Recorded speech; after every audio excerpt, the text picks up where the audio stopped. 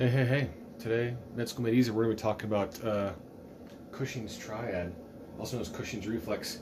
It's actually named after uh, Dr. Cushing, Dr. Harvey Cushing, an American neurosurgeon, one of the first great neurosurgeons in America. Uh, Cushing's reflex is an interesting phenomenon that occurs when you have an increased intracranial pressure. So ICP goes up, you have a head injury, you have a head bleed, something like that.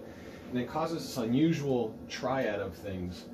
The triad is hypertension, and bradycardia, which is kind of interesting because usually we don't see those things together. Um, and it's, it's almost paradoxical in that way.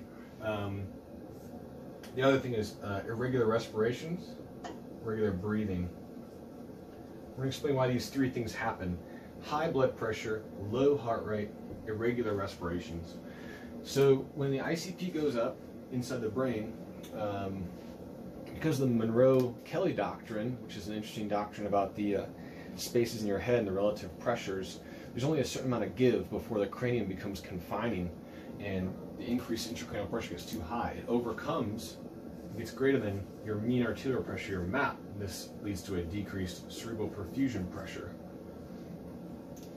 Um, what this does is it causes constriction and ischemia to the brain and that causes a sympathetic response. So we activate the sympathetic nervous system. Through alpha 1, just like it does for any other reason, the alpha 1 receptors cause hypertension. If we drive up our MAP, hopefully the ICP won't be able to overcome it and our CPP will normalize, we'll perfuse our brain. That's what your body's trying to do.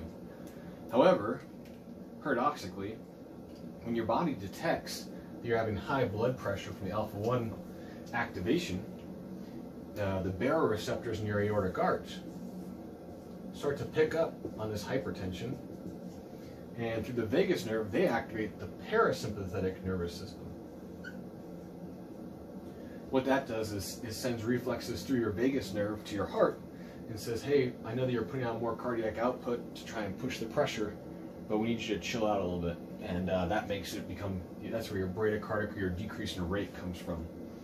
Um, unfortunately, people that have Cushing's triads, their head injury or their intracranial pressure is usually pretty severe, and so because that, you get these same ischemic pressure-based patterns to the patient's uh, brainstem, and that's where you get your agonal or irregular respirations from. Usually, if a patient is developing Cushing's reflex or Cushing's triad, their head injury is very severe. Neurosurgery should be involved um, and uh, they have a pretty bad brain injury with severe ischemia. Uh, and that's Cushing's Try. Thanks.